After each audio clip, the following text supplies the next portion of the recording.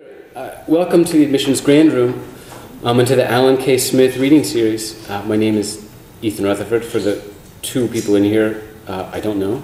Um, and I teach creative writing here at Trinity, and it's my great pleasure today to welcome um, Kelly Link to campus to read from her work. Um, so if you could please take a second to turn off your cell phones. Great. You also don't think that you have to say that, but then the last reading, someone was like talking to Siri. And we're like, it's unacceptable. Sort of like a little catapult where you're just like, you're gone. Um, so, yeah, it's like we feed you and you take phone calls. It's unbelievable.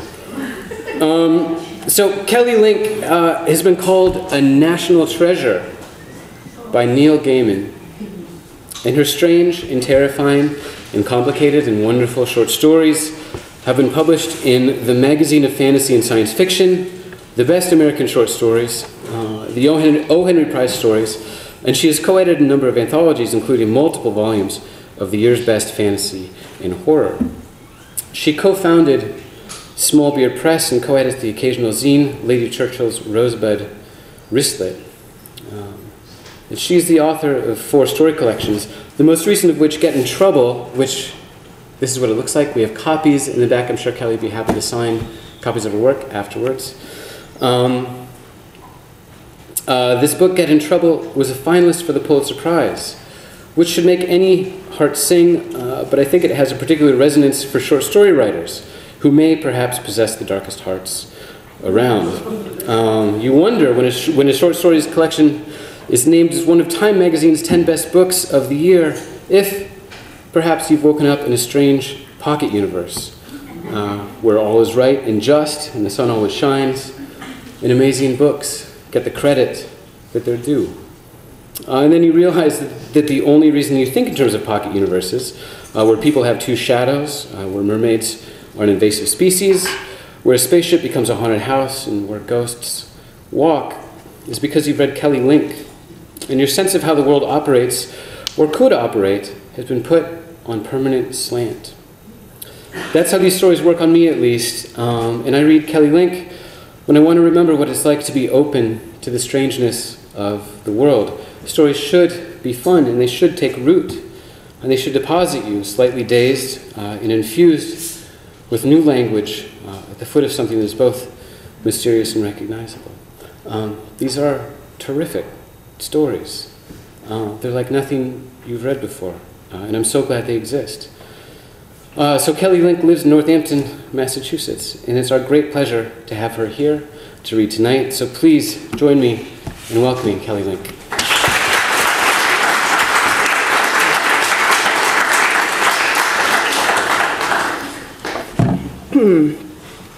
I feel that we're practically neighbors. It's such a easy trip down here.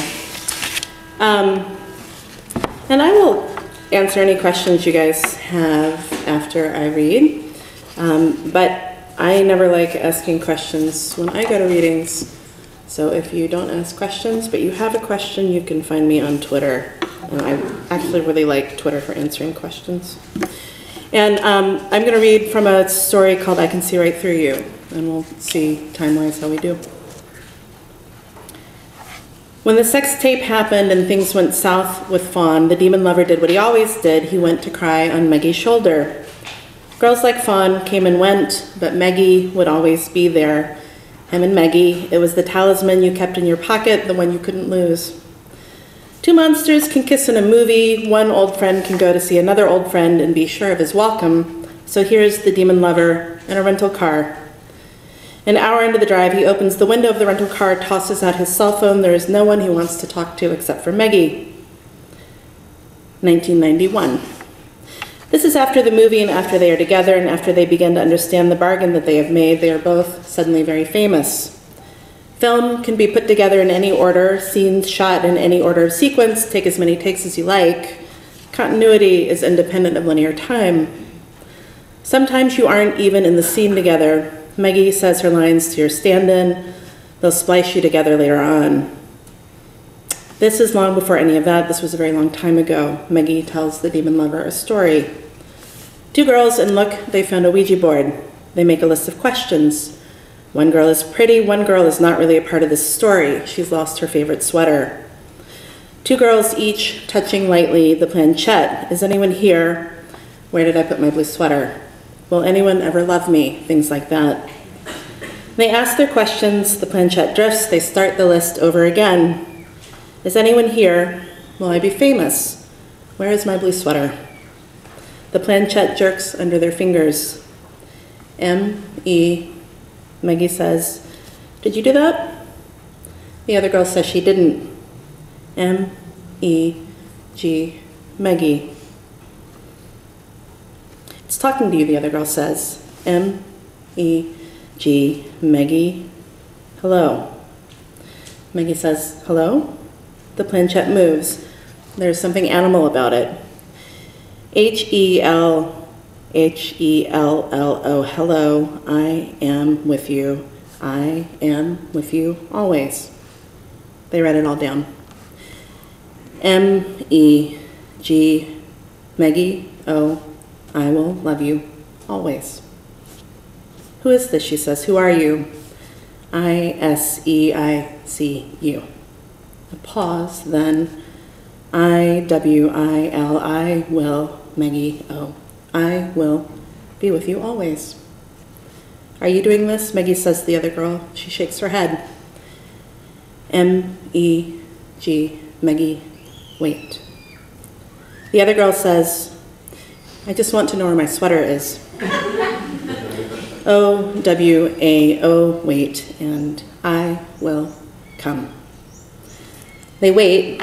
Will there'll be a knock at the bedroom door, but no one comes, no one is coming. I A M, I am with you always.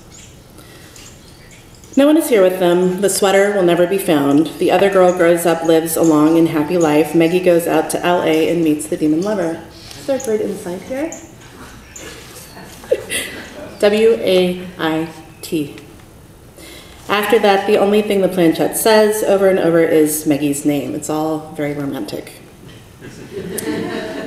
1974, 22 people disappear from a nudist colony in Lake Apopka. People disappear all the time, let's be honest. The only thing interesting here is that these people were naked and that no one ever saw them again. Funny, right? 1990. It's one of the 10 most iconic movie kisses of all time. In the top five, surely you and Maggie, the demon lover, and his monster girl, vampires sharing a kiss as the sun comes up, both of you wearing so much makeup it still astonishes you that anyone would ever recognize you on the street. It's hard for the demon lover to grow old. Florida is California on a trauma budget. That's what the demon lover thinks anyway. Special effects blew the budget on bugs and bad weather. He parks in a meadowy space recently mowed alongside other rental cars, the usual catering and equipment vans. There are two gate posts with a chain between them. No fence. Eternal I endure. There's an evil smell. Does it belong to the place or to him? The demon lover sniffs under his arm. It's an end of the world sky, a snakes and ladders landscape, low emerald trees pulled lower by vines, chalk and apricot ant hills. The demon lover imagines the bones of a nudist under every one shallow water-filled declivities scummed with algae, lime, and gold and black. The blot of the lake, that's another theory, the lake. A storm is coming. He doesn't get out of his car, he rolls the window down and watches the storm come in. Let's look at him, looking at it, a pretty thing admiring a pretty thing. Abandoned site of a mass disappearance, muddy violet clouds, silver veils of rain, driving down the lake, the tabloid prince of darkness, Maggie's demon lover arriving in all his splendor. The only thing to spoil it are the bugs and the sex tape. 2012. You have been famous for more than half of your life, both of you. You only made the one movie together, but people still stop you on the street to ask about Maggie. Is she happy? Sometimes they don't ask about Maggie, sometimes they will ask if you will bite them. Happiness, misery. If you were one, bet on it, the other was on the way. That was what everybody liked to see. It was what the whole thing was about. The demon lover has a pair of gold cufflinks, those faces. Maggie gave them to him. You know the ones I mean. 2010, Maggie and the demon lover throw a Halloween party for everyone they know. They do this every Halloween, they're famous for it. Year after year, on a monkey's face, a monkey's face, Maggie says. She's King Kong. The year before, half a pantomime horse. He's the demon lover. Who else, year after year? Maggie says, I've decided to give up acting. I'm going to be a poet. Nobody cares when poets get old. Fawn says appraisingly, I hope I look half as good as you when I'm your age. Fawn, 23, a makeup artist. This year, she and the demon lover are married. Last year, they met on set. He says, I'm thinking I could get some work done on my jawline. You'd think they were mother and daughter, same Viking profile, same quizzical tilt to the head as they turned to look at him. Both taller than him, both smarter too, no doubt about it. Maybe Maggie wonders sometimes about the woman he sleeps with, marries. Maybe he has a type, but so does she. There's a guy at the Halloween party, a boy really. Maggie always has a boy, and the demon lover can always pick him out. Easy enough, even if Maggie's sly. She never introduces the lover of the moment, never even acknowledges their presence. They hang out on the edge of whatever is happening and drink or smoke, or drink or smoke or watch Maggie at the center. Sometimes they drift closer, stand near enough to Maggie that it's plain what's going on. When she leaves, they follow after. Maggie's type. The funny thing is, Maggie's lovers all look like the demon lover. More like the demon lover, he admits it, than he does. He and Maggie are both older now, but the world is full of beautiful black haired boys and golden girls. Really, that's the problem. The role of the demon lover comes with certain obligations. Your hairline will not recede, your waistline will not expand, you are not to be photographed threatening paparazzi or in sweatpants. No sex tapes. Your fans will offer their next at premieres, also at restaurants and at the bank, more than once when he is standing in front of a urinal. Ask if you will bite their wives, their daughters, they will cut themselves with a razor in front of you. The appropriate reaction is there's no appropriate reaction. The demon lover does not always live up to his obligations. There's a sex tape, there's a girl with a piercing, there is, in the middle of some athletic sex, a comical incident involving his foreskin. There's blood all over the sheets, there's a lot of blood. There's a 911 call, there's him fainting, falling and hitting his head on a bedside table. There's Perez, Hilton, Gawker, talk radio, YouTube, Tumblr. There are gifts. You will always be most famous for playing the lead in a series of vampire movies. The character you play is, of course, ageless, but you get older. The first time you bite a girl's neck, Maggie's neck, you're a 25 year old actor playing a vampire who hasn't gotten a day older in 300 years.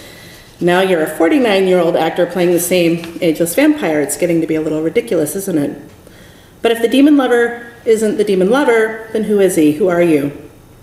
Other projects disappoint. Your agent says, take a comic role. The trouble is, you're not very funny. You're not good at funny. The other trouble is the sex tapes. Sex tapes are inherently funny. Nudity is regrettably funny. Torn foreskins are painfully funny. You didn't know she was filming it. Your agent says, that wasn't what I meant.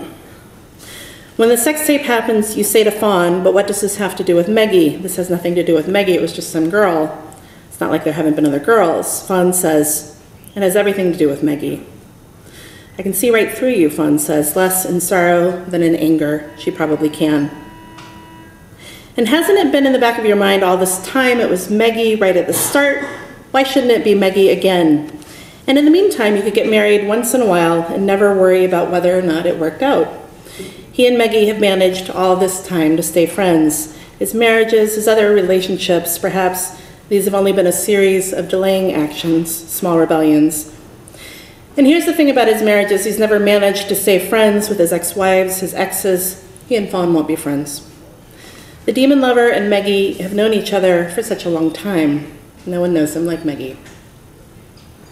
The remains of the nudist colony at Lake Apopka promise reasonable value for ghost hunters. A dozen ruined cabins, some roofless, windows black with mildew, a crumbled stucco hall, Spanish tiles receding, the cracked lip of a slop filled pool. Between the cabins and the lake, the homely and welcome sight of half a dozen trailers, even better, he spots a craft tent. Muck farms, mutant alligators, disappearing nudists, the demon lover killing time in the LAX airport, read up on Lake Apopka.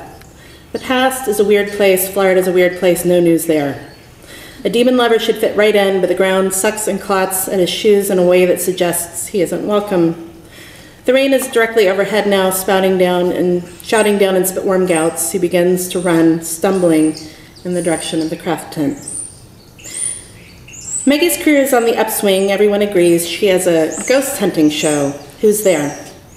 Admit that who's there is entertaining whether or not you believe in ghosts. It's all about the nasty detail of the house that gives you a bad feeling even when you turn on all the lights, the awful thing that happened to someone who wasn't you a very long time ago. Maggie sells you on the possibility maybe what's going on here is real. Maybe someone is out there. Maybe they have something to say. The demon lover can talk to Maggie about anything. It's been that way all along. They haven't talked since the sex tape. Better to have this conversation in person. 1991. He and Maggie are lovers. Their movie is big at the box office. Everywhere they go, they are famous, and they go everywhere. Their faces are everywhere. They are kissing on a thousand screens. They are in a hotel room kissing. They can't leave their hotel room without someone screaming or fainting or pointing something at them. They are asked the same questions over and over again. There's a night on some continent, in some city, some hotel room, some warm night. The demon lover and Maggie leave a window open, and two women creep in. They come over the balcony. They just want to tell you that they love you, both of you. They just want to be near you. When people disappear, there's always the chance that you'll see them again. The rain comes down so hard the demon lover can barely see. He thinks he is still moving in the direction of the craft tent and not the lake. There's a noise. He picks it out of the noise of the rain, a howling. And then the rain thins and he can see something, men and women, naked, running toward him. He slips, catches himself, and the rain comes down hard again, erases everything except the sound of what is chasing him. He collides headlong with a thing, a skin horribly clammy, cold, somehow both stiff and yielding, bounces off and realizes that this is the tent. Not where you'd choose to make a last stand, but by the time he has fumbled his way inside the flap, he has grasped the situation. Not dead nudists, but living people, naked, cursing, laughing, dripping. They carry cameras, mics, gear for ghost hunting, videographers, A2s, all the other useful types, and the not so useful. A crowd of men and women, and here is Maggie. Her hair is glued in strings to her face, her breasts are wet with rain. He says her name, they all look at him. How is it possible that he is the one who feels naked? The fuck is this guy doing here? says someone with a little white towel positioned over his genitals. Really, it could be even littler. Well, Maggie says, so gently he almost starts to cry. Well, it's been a long day. She takes him to her trailer. He has a shower, borrows her toothbrush. She puts on a robe, doesn't ask any questions, talks to him while he's in the bathroom. He leaves the door open. It's the third day on location. The first two have been a mixed bag. They got their establishing shots, went out on the lake, and saw an alligator dive down when they got too close. There are baby skunks all over the scrubby, shabby woods, the trails. They come right up to you, up to the camera, and try like hell to spray. But until they hit adolescence, all they can do is quiver their tails and stamp their feet. Except, she says, and mentions some poor A2, his skunk was an early bloomer. Maggie interviewed the former proprietor of the nudist colony, a harmless old crank. Whatever happened, he had nothing to do with it. You couldn't lecture people into thin air. Besides, he had an alibi. What they didn't, didn't get on the first day or even on the second day was any kind of worthwhile read on their equipment. They have the two psychics, but one of them had an emergency, went back to deal with a daughter in rehab. They have all kinds of psychometric equipment, but there's absolutely nothing going down on or off, which led to some discussion. We decided maybe we were the problem, Maggie says. Maybe the nudists didn't have anything to say to us while we had our clothes on, so we're shooting in the nude. Everyone nude. Cast, crew, everyone. It's been a really positive experience, Well, It's a really good group of people. Fun, the demon lover says. Someone has dropped off a pair of pink cargo shorts and a t shirt because his clothes are in his suitcase back at the airport in Orlando. It's not exactly that he forgot, more like he couldn't be bothered. It's good to see you, Will, Maggie says, but why are you here exactly? How did you know we were here? He takes the easy question first Pike. Pike is Maggie's agent and an old friend of the demon lover. He flops down on the floor in front of Maggie's chair. She runs her fingers through his hair, pets him the way you'd pet a dog. He told you I was coming. He did, Maggie says. He called. The demon lover says, Maggie, this isn't about the sex tape. Maggie says, I know. Fawn called too. She wanted me to let her know if you showed, said she was waiting to see before she threw in the towel. She waits for him to say something. Waits a little bit longer, strokes his hair the whole time. I don't love her, the demon lover says. Well, Maggie says. She takes that hand away. There's a knock on the door, some girl.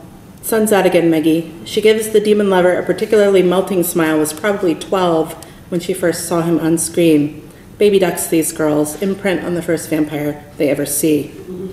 Then she's down the stairs again, bare bottom bouncing. Maggie drops the robe, begins to apply sunblock to her arms and face. He notes the ways in which her body has changed, thinks he might love her all the more for it, and hopes that this is true. She says, You must be tired. Take a nap. There's herbal tea in the cupboards, pot and Ambien in the bedroom. We're shooting all afternoon, straight through to evening. And then a barbecue. We're filming that too. You're welcome to come out. It would be great publicity for us, of course. Our viewers would love it. But you'd have to do it naked like the rest of us. No clothes. No exceptions, Will. Not even for you. I love you, Maggie, he says. You know that, right? I know. I love you too, Will, she says. The way she says it tells him everything.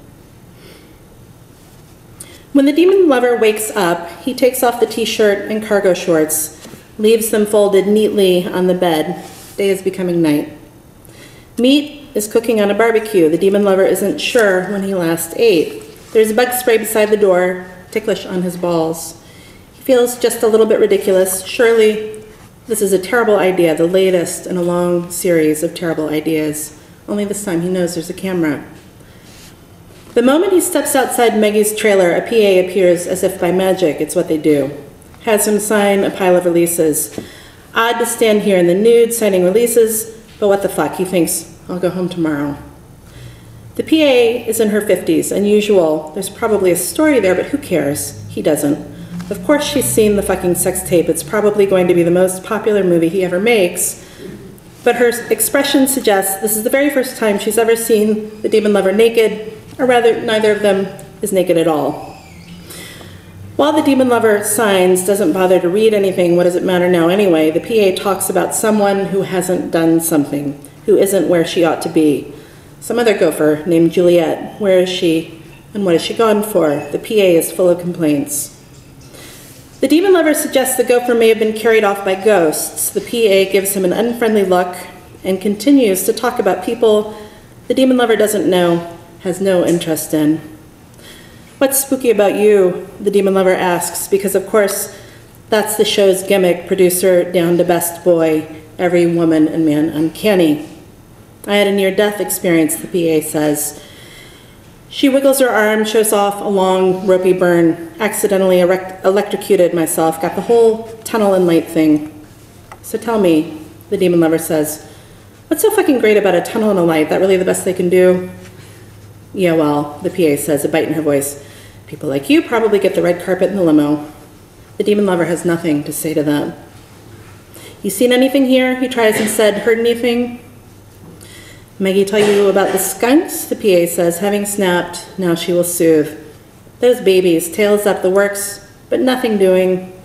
Which about sums up this place, no ghosts, no read on the equipment, no hanky panky, fiddle faddle, or woo woo, not even a cold spot. She says, doubtfully, but it'll come together. You at this seance, barbecue shindig will help. Naked vampire trumps nudist ghosts any day. Okay on your own? You go on down to the lake, I'll call, let them know you're on the way. Thanks, the demon lover says. And here's another someone. It's a regular Pilgrim's Progress. This is a kid in his 20s, good looking in a familiar way. Although, is it okay to think this about another guy when you're both naked, not to mention who looks a lot like you did once upon a time? Why not? We're all naked here. I know you, the kid says. The demon lover says, Of course you do. You are? Ray, says the kid. He's maybe 25. His look says, You know who I am. Maggie's told me all about you. As if he doesn't already know, the demon lover says, So what do you do? The kid scratches at his groin luxuriously, maybe not on purpose. Whatever needs to be done, that's what I do. So he deals. There's that pot in Maggie's dresser. Down at the lake, people are playing volleyball in a pit with no net, barbecuing. Someone talks to a camera, gestures at someone else, someone somewhere smoking a joint. At this distance, not too close, not too near, twilight coming down, the demon lover takes in all the breasts, asses, comical cocks, knobby knees, everything hidden, now made plain. He notes with an experienced eye which breasts are real, which aren't. Only a few of the women sport pubic hair. He's never understood what that's about. Some of the men are bare too. O tempora, o mores. You like jokes? Ray says, stopping to light a cigarette. The demon lover could leave, he lingers. Depends on the joke. Really, he doesn't, especially the kind of jokes the ones who ask if you like jokes tell. Ray says, You like this one. So there are these four guys a kleptomaniac, a pyromaniac, um, a zoophile, and a masochist. This cat walks by, and the klepto says he'd like to steal it. The pyro says he wants to set it on fire. The zoophilic wants to fuck it. So the masochist, he looks at everybody and he says, meow. It's a moderately funny joke. It might be a come on. The demon lover flicks a look from under his lashes, suppresses the not quite queasy feeling he's somehow traveled back in time to flirt with himself, or the other way round.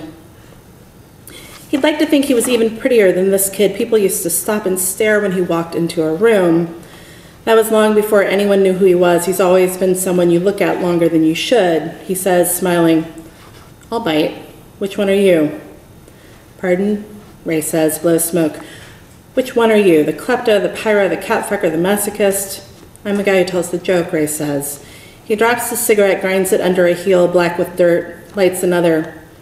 Don't know if anyone's told you, but don't drink out of the taps or go swimming. The water's toxic, phosphorus, other stuff.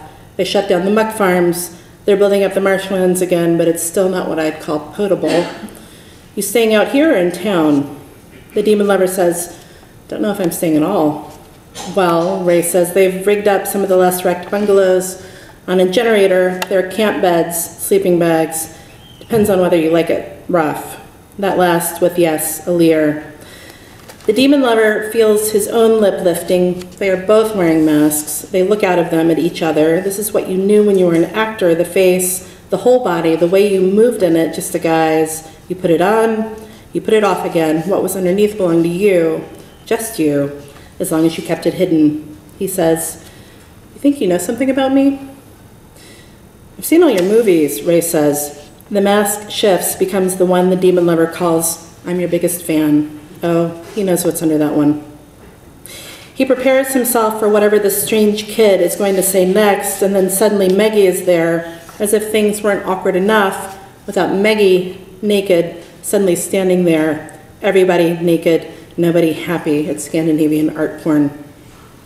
Maggie ignores the kid entirely, just like always. These guys are interchangeable, really. There's probably some website where she finds them. She may not want him, but she doesn't want anyone else either. Maggie says, touching his arm, You look a lot better. I got a few hours, he says. I know, she says. I checked in on you, wanted to make sure you hadn't run off. Nowhere to go, he says. Come on, Maggie says. Let's get you something to eat. Ray doesn't follow, lingers with his cigarette, probably staring at their yoga toned, well enough preserved celebrity butts. Here's the problem with this kid, the demon lover thinks. He sat in a theater when he was 15 and watched me and Maggie done up in vampire makeup pretend fucking on a New York subway car, the A train. Me biting Maggie's breast, some suburban movie screen, her breast 10 times bigger than his head. Probably masturbated a hundred times watching me bite you, Maggie. He watched us kiss, felt something ache when we did. And that leaves out all the rest of this, whatever it is that you're doing here with him and me. Imagine what this kid must feel now. The demon lover feels it too. Love, he thinks. Because love isn't just love, it's all the other stuff too. He meets Irene, the medium who plays the straight man to Maggie, people named Sidra Tom Ewan, who seem to be in charge of the weird ghost skier. A videographer, Pilar, he's almost positive he's met her before, maybe during his AA period. Really, why is that period more of a blur than the years he spent drunk or high? She's in her 30s, has a sly smile, terrific legs, and a very big camera. They demonstrate some of the equipment for the demon lover, let him try out something called a tri-field meter. No ghosts here. Even ghosts have better places to be. He assumes everyone he meets has seen his sex tape, almost wishes someone would mention it. No one does. There's a rank breeze off the lake, muck and death. People eat and discuss the missing PA, the gopher, some Juliet person. Maggie says, She's a nice kid, makes origami in her spare time and sells it on eBay. She makes what? The demon lover says, Horigami, origami porn tableau, custom order stuff. Of course, the demon lover says, big money in that. She may have some kind of habit, Maggie mentions this, she may be in the habit of disappearing now and then. Or she may be wherever all those nudists went. Imagine the ratings then. He doesn't say this to Maggie. Maggie says, I'm happy to see you well, even under the circumstances. Are you? says the demon lover, smiling, because he's always smiling. They're far away from the mics and the cameras. Pilar, the videographer, is recording Irene, the medium, who is toasting marshmallows. Ray is watching too, is always somewhere nearby. Something bites the demon lover's thigh and he slaps at it. Of course I'm happy, Maggie says, and your timing is eerily good because I have something to talk to you about. Shoot, he says. How about later? After we're done here, she says. It's almost full dark now, no moon. Someone has built up a very large fire. The blackened bungalows and the roofless hall arc into obscure and tidy shapes. Now you can imagine yourself back when it was all new a long time ago, back in the 70s, when nobody cared what you did, when love was free, when you could just disappear if you felt like it, and that was fine and good too. So where do I stay tonight? The demon lover says, again, fights the impulse to touch Maggie's face. There's a strand of hair against her lip. Which is he? The pyromaniac or the masochist? Well, he's an actor, isn't he? He can be anything she wants him to be. I'm sure you'll find somewhere, Maggie says, a glint in her eye, or someone. Pilar has told me more than once that you're the only man she's ever wanted to fuck. If I had a dollar, the demon lover says. He still wants to touch her, wants her to want him to touch her. He remembers now how this goes. Maggie says, if you had a dollar, 70 cents would go to your exes. He says, unsign a prenup. One of the thousand reasons you should go home and fix things, Maggie says. She's a good person. She's better off without me, the demon lover says, trying it out. He's a little hurt when Maggie doesn't disagree. Irene, the medium, comes over with Pilar and the other videographer. The demon lover can tell Irene doesn't like him. Sometimes women don't like him, rare enough that he always wonders why. Shall we get started? Irene says, let's see if any of our friends are up for a quick chat. Maggie addresses the video camera next. This will be our final attempt, she says, our last chance to contact anyone who is still lingering here who has unfinished business. You'd think nudists wouldn't be so shy, Irene says. Maggie says, but even if we don't reach anyone, today hasn't been a total loss. All of us have taken a risk. Some of us are sunburned. Some of us have bug bites in interesting places. All of us are a little more comfortable in our own skin. We've experienced openness and humanity in a way that these colonists imagined and hoped would lead to a better world. And maybe for them it did. We've had a good day, and even if the particular souls we came here in search of didn't show up, someone else is here. The A2 nods it will. Pilar points the camera at him. He's been thinking about how to play this. I'm Will Gauld, he says. You probably recognize me from previous naked film roles, such as the guy rolling around on a hotel floor, clutching his genitals and bleeding profusely. I just happened to be in the area. We've hidden his clothes, Maggie says. Irene says, Maggie, one of the things that's been most important about who's there right from the beginning is that we've all had something happen to us that we can't explain away. We're all believers. I've been meaning to ask, does Will here have a ghost story? I don't. Will says, then pauses, looks at Maggie. I do, he says. But surely Maggie's already told it. I have, Maggie says. But I've never heard you tell it. Oh, there's stories the demon lover could tell. He says, I'm here to please. All around them, people have been clearing away plates of half eaten barbecue, assembling in a half circle around the campfire. Any minute now, they'll be singing Kumbaya. They sit on their little towels. Irene and Maggie take their place in front of the fire. They clasp hands. The demon lover moves a little farther away into darkness. He's not interested in seances or ghosts. Here's the line of the shore, sharp things underfoot. Someone joins him. Ray, of course. It is worse somehow to be naked in the dark. The world is so big, and he is not. Ray is young, and he is not. He is pretty sure that the videographer Pilar will sleep with him. Maggie will not. I know you. the demon lover says to Ray, I've met you before. Well, not you, the previous you. You never last. We never last. She moves on. You disappear. Ray says nothing, looks out at the lake. I was you, the demon lover says. Ray says, and now, who are you? You charge by the hour, the demon lover says. I don't seem to have my wallet on me. Maggie's busy, Ray says, and I'm curious about you, what you think you're doing here. I came from Maggie, the demon lover says. We're friends. An old friend can come to see an old friend. Some other time I'll see her again, and you won't be around. I'll always be around. But you, you're just some guy who got lucky because you look like me. Ray says, I love her. Sucks, doesn't it? The demon lover says. He goes back to the fire and the naked people waiting for other naked people, thinks about the story he is meant to tell. And I think I'm actually going to stop there. That's, so maybe a third of the story to go. Lots of ghosts. Um, but thank you very much. And I, um, well, if you have questions, I'm happy to answer them.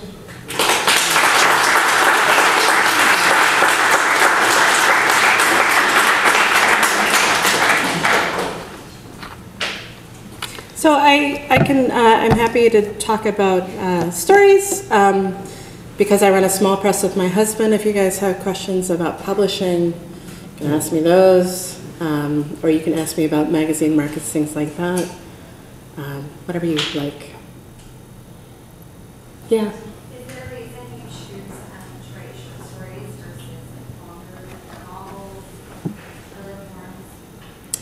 um, I really like short stories. It's one of my favorite things to read. Uh, and I think also that uh, my focus is better over a short period of time. um, having said that, uh, the stories in this collection got longer. Kind of a classic short story length is between 4,000 words, 6,000 words, and these stories are all 10,000 words or a little bit more. And so I. Um, when I sold this collection, I also sold a novel because uh, a good friend of mine, who is also a writer, um, said, "Well, you're going to write a novel by accident, so you might as well do it on purpose." And seemed like good advice. Um, so now I have to write one.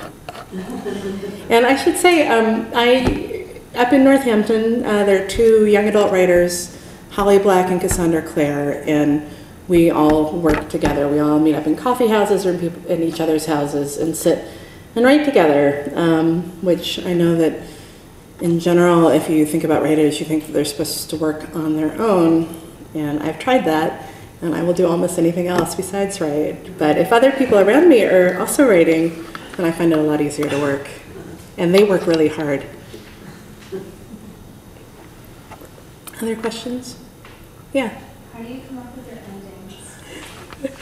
Um, you know, uh, I went to a, a literary festival where the theme was short stories, and uh, one of the features of the festival was that you sit and you listen to everybody else's, all the other writers when they read or, or give uh, presentations or are in panels. And I was really taken aback because everybody, when they talked about how they wrote things, uh, said they started at the beginning. And um, when I start a story, I always know what I want the ending to be. And so getting the beginning right is tricky because I feel as if I'm having to set up everything that will lead to the ending that I want. Um, but the ending may change a little bit, but typically it's very similar to the idea that I had when I started. It's almost always the end that's the starting place for the story. Having said that, my endings are not very tidy. Um, they're, they might also, I guess, they might also be sort of like beginnings in the sense that I, my hope is that when you read them and you get to the end, it will occur to you that many things may be about to happen past that point. But hopefully, I've, I've set it up enough that you have some idea about the people in the story and what they might do next. Yeah. Do you make up most of the short stories you write, or do you get them from past life experiences? Hmm. Uh, very rarely my own life. Um, sometimes there are things in the story um, that come from stories that my friends have told me. For, um, for example, my sister years ago told me a story about a friend who went to a wedding, stayed in a B&B, and uh, the first night that she was in the B&B, which was full of antiques, there were a lot of noises, but she didn't see anything. Second night that she was staying there, there were a lot of noises, and so finally she turned on the light, and there was a taxidermied animal, and beetles were just sort of flooding out of it. And I said to her, What did she do? And I said, I don't know what she did. but she told me that. Um, so for years, I thought about that story. And I thought, at some point, when I have the right story to put it into, then I'll, I'll use that. And so there's a story in this collection where I thought, oh, this is a story where I get to use, I get to use that. Um, and you know, sometimes a friend will will have had. I had a friend who uh, at lunch one time told me that so it's really weird. The last seven people that I've gone out with have all been cellists, and so I save that up and use that for a story. But when I do that, I, I do try and ask. I do try to ask the people, say, I was thinking I would use that detail in a story. Is that okay with you? And so far, people have said yes. So, yeah. Who are some of the short story writers you admire? Hmm. Um, well, I grew up really liking ghost stories. Uh, so people like M.R. James or Robert Aickman, um, Joan Aiken, who's uh, more famous for books like The Wolves of Willoughby Chase, but also wrote a lot of ghost stories. Um, but I also really, really like um, Grace Paley um, and Ursula Le Guin. And so uh, I just, I mostly, I just really like short stories. Yeah. Uh, what's your revision process like? Um, so revision, um, when I start writing a story, you know, I'll get sort of a sentence or two in and then think, no, that's wrong. And I go back to the start of the story and I revise until I think, oh, that's a little better.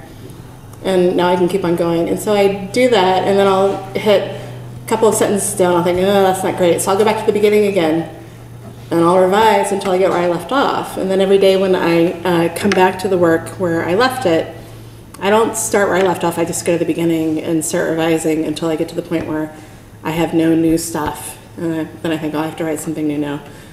And then when I get stuck, I think, oh, thank God, and I go back to the beginning.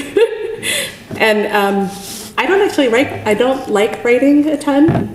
Um, but in the same, I don't know, There's certain, uh, what I think of as habitual activities that you don't find pleasurable, but which are satisfying, like video games. Um, you know, if I play a game on my phone, I don't know that I'm enjoying it anymore, but there's a certain kind of satisfaction in completing a level or in sort of getting past the point that I haven't gotten. And writing feels a lot the same way. I think here's something that I'm going to spend some time doing. It's not fun, but I will feel better when I get something on the page that, that, that works. So I, revising is, is the best part of writing, yeah. So would you say that writing is a passion of yours? Uh, I would say I'm constantly in a fight with writing.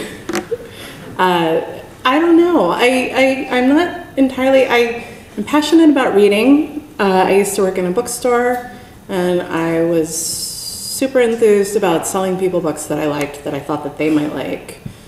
Uh, and I don't particularly want to do anything else besides write. But um, I would not say that it is a love affair. It's, it's more like a it's more like a really long argument that I'm having with my laptop. Yeah. Uh, do ideas for stories come to you naturally, or do you have to like think- sit down and like think about them? They used to not. Uh, I used to have to sort of dredge them up. Um, it seemed very painful. But uh, there's a writer I know who taught for a long time, and we actually published a book that she wrote about workshopping. And one of her ideas ended up seeming very useful to me. It was that um, it's part of your brain that you are in communication with, um, which she calls the silent partner or Bob, and um, who provides you with, it sort of generates things for you. And when you, when your response to things that this partner is generating are no, I don't like that, that sucks, or that's terrible, uh, the partner part of your brain begins to shut down and produce less. But if you say to the partner, um, that's a great idea, when you have a good one, or I really like that, please give me more like that, that it sort of opens more and begins to produce more ideas. And I think that's actually true, that the more um, enthusiastic I can make myself be about stuff that is actually useful, the more of the useful stuff I get. But, you know, I also get most of that from working with two other writers or more sometimes, and all just sitting around and talking about the things that we like in stories and about why we think that those things work. And I find that that generates a lot of ideas about structure. Other questions? Maybe one more? Yeah. What does a writing day look like? Um, well, we all usually meet up around uh, 12 or 1 um, and just sit and work. Sometimes we do what we call sprints, where you, uh, you don't talk at all. You work for 30 minutes or half to an hour, and then you stop and you all talk about what you've done. Um, and I will do that until uh, 5 or 6 if I don't have to pick my daughter up, and then I go home. Um, and once I have a story that is really moving along, then I will work on it just sort of continuously whenever I can. Um, but in the morning, I just mostly read the paper online. Um, and I'll tell a ghost story if we have time. Yeah, please tell that story. Uh, so I've been I've been collecting uh, ghost stories for the last couple of years, um, and this is still the scariest one I know. Uh, this was somebody told this at a dinner party. She said that when she was a kid uh, and lived in a small town in Texas, she had a recurring dream. She would be walking down the street of her town in one direction, and a man would begin to approach her from the other side.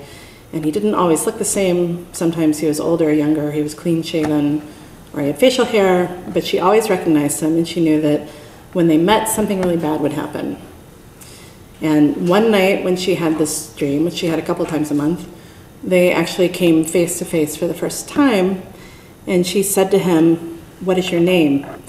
And he said, My name is Sammy. And she woke up and she was so afraid that she could not go back to sleep. And so she went to her sister's bedroom and she said, I just had a really bad dream and I don't want to sleep by myself. Can I get in bed with you? And her sister said, What is it? Is it Sammy? And she said, How do you know Sammy? And her sister said, I don't know Sammy, you just brought him in the room with you. And so she turned on the light, and her sister was asleep, so she woke up and she said, What did you say to me? And her sister said, I didn't say anything to you, I was asleep. Um, but she never had that dream again.